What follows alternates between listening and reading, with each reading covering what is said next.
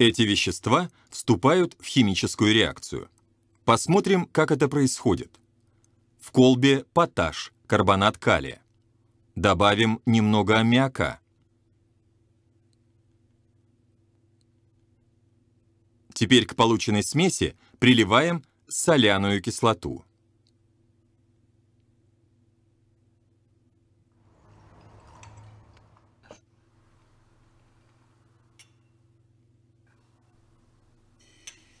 Мы наблюдали химическую реакцию.